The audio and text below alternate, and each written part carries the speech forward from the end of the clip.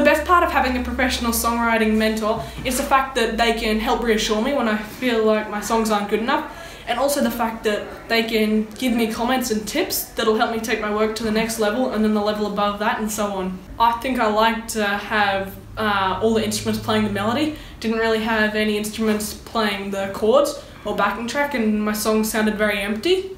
But now with the iHeart songwriting course, I've learned to put different instruments into different parts of my songs and it's helped me improve my songwriting a lot. I think the fact that they could reassure me when I felt that my songs weren't good enough and told me not to put all of my instruments with the same the same as my melody, just to leave everything as just chords and then just my voice doing the melody it helped and allowed me to expand my songwriting potential exponentially. Hi everyone, I'm Lockie and I'm 15 and I just participated in iHeart Songwriting's 10 week children's course. Playing my songs tonight, it felt awesome. I could look out and see the people smiling in the crowd and it just made me feel happy doing what I love, out there on a stage playing with people I like.